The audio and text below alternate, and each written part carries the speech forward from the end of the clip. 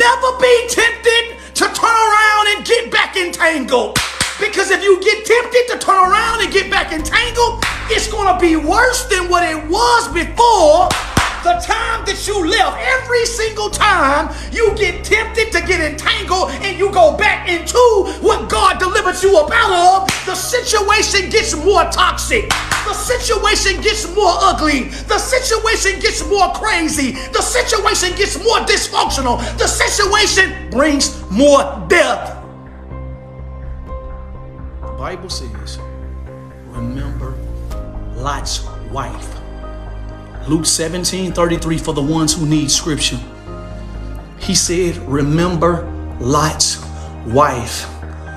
God told Lot and his wife and his whole family, Come out of Sodom and Gomorrah. Come out and come out right now. When you leave the city, don't you dare turn around and look back. Ladies and gentlemen, Lot's wife started turning around, looking back. Why? Because she was too loyal to the city and she wasn't loyal to God's word.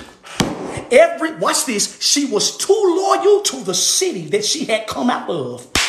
And she wasn't loyal enough to God's word.